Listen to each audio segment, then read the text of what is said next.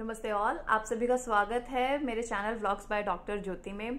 और मैं जैसे कि आपको हमेशा अच्छी अच्छी वीडियो बताती रहती हूँ या चीज़ें बताती रहती हूँ, आज मैं कुछ ऐसी ही चीज़ आपसे डिस्कस करने वाली हूँ, वो है अजवायन। अजवायन आपकी ज़िंदगी में कितने मिरेकुलस चमत्कारी प्रभाव ला सकती है, उसकी हम बात करने वाले हैं।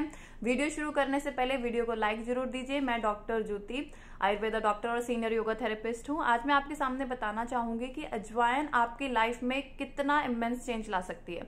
सबसे पहले अगर आपके घर में कोई भी बच्चे से लेके बड़े जिनको अस्थमा की प्रॉब्लम है या डायरिया बहुत कंसिस्टेंसी के साथ होता रहता है, ऐसे लोगों की डाइट में अजवाइन का होना बहुत अनिवार्य है, क्योंकि इसके डाइजेशन पे बहुत ही इमेंस काइंड ऑफ़ चेंजेस हैं.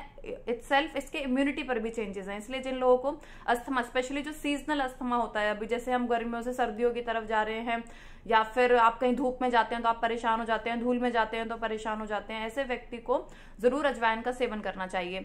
और दूसरी चीज़, अगर आप बहुत जल्दी से अपना वेट लूज करना चाहते हैं वेट लूज करने के लिए ये चीज़ मैं पर्टिकुलरली मेंशन कर रही हूँ. कोई भी वीडियो देख के एग्रेसिवली ऐसा शुरू मत करना कि अपने दिन की शुरुआत करिए, अजवाइन से या मसालों से, जीरा से, दालचीनी से नहीं। दिन में जब भी आपको टाइम मिले स्पेशली आपका खाना खाने के बाद, रात का खाना खाने के बाद, जब भी आपको लगे कि अब डेढ़ दो घंटे बाद आपके पास समय है, चाय लेने के बजाय अजवाइन का पानी लें।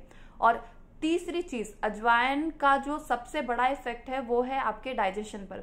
अगर आपको हमेशा ऐसा लगता है बदहजमी होती रहती है एसिडिटी होती रहती है, या ऐसा लगता है कि गैस पास नहीं हो रही है, इन सब चीज़ों में अजवाइन जो है बहुत अच्छा काम करती है। इस अजवाइन को आप अजवाइन के पानी में या अजवाइन को सोख करके इसका पेस्ट बना के थोड़ा सा अपने नेवल या नाभि पे भी लगा सकते हैं।